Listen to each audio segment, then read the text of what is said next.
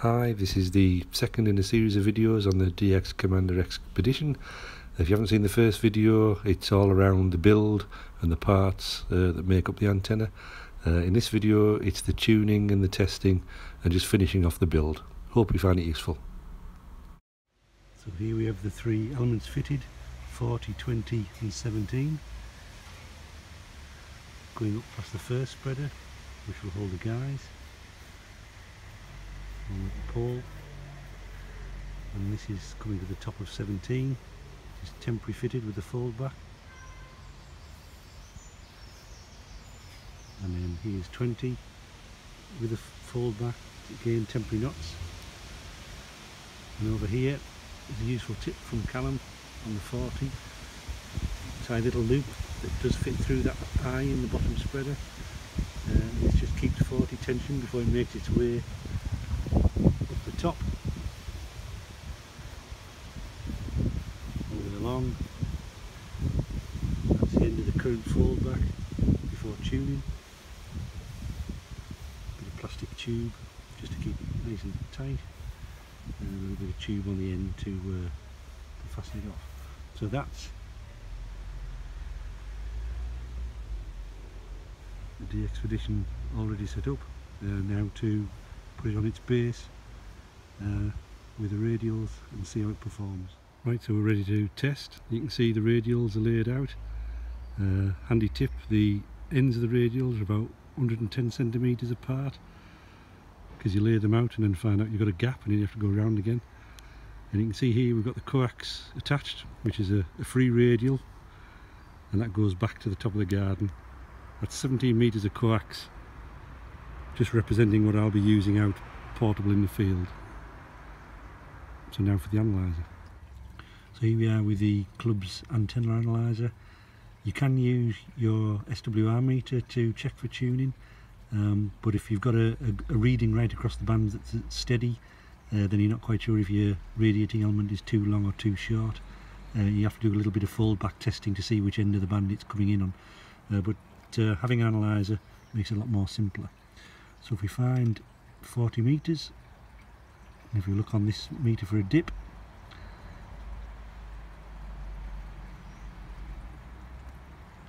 So dip there at about 7.1 rising to 1.3 at the top of the band. So that's perfectly fine. Uh, now if I go to 17 meters which just happens to be where that's sending the reading. So there, that's a bit low, uh, 18.05. Um, so elements long, I need to shorten that one. And if we go down to 20 meters, here comes the dip.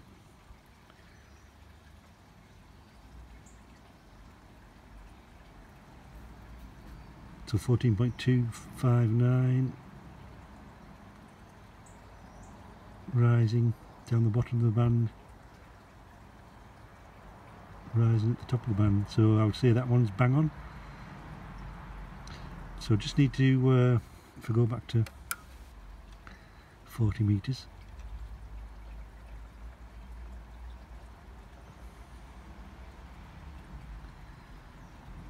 Maybe short and 40 uh, 17 just a, little bit more fold back a couple of centimeters and we'll see how we get on.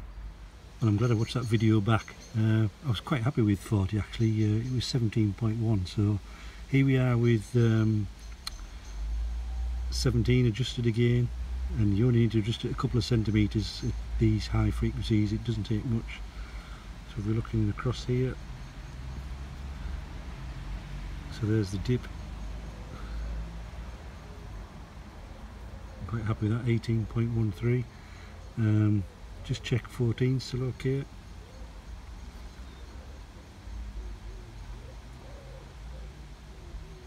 Yep that's fine. Uh, and 7 megs 40 meters.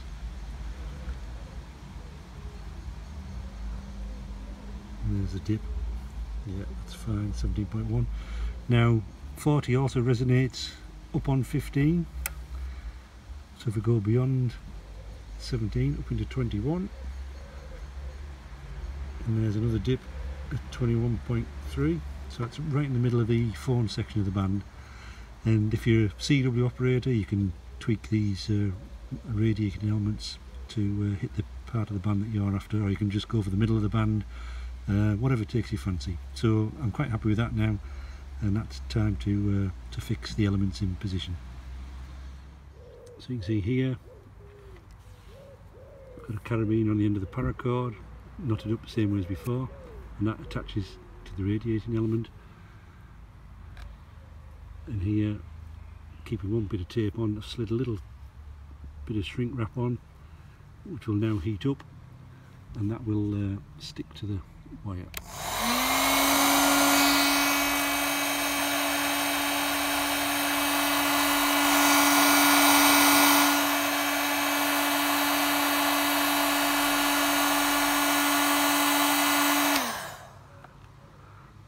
There we go.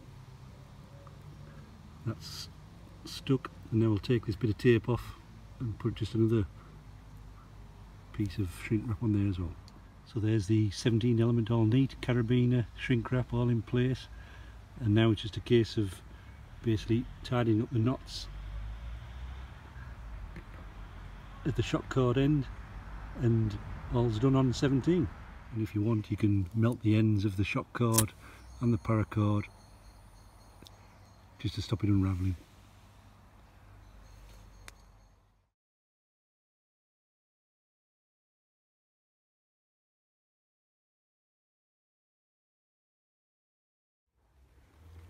So that's the DX Commander Expedition disassembled, 2.7 kilos, uh, 6 pounds that weighs and I think if you take the end plates off you'll get it back into the original box. Uh, but basically there we've got the radials, the radiating elements, the spreaders, the two little bits of tubing and the top spreader has the uh, shock cord on. Um, very simple to disassemble. I would use tape on the joints in assembling it. It takes a little bit extra time but uh, I just think it has a little bit of security to the pole. Um, so that's it. The uh, DX Commander disassembled, ready for packing away.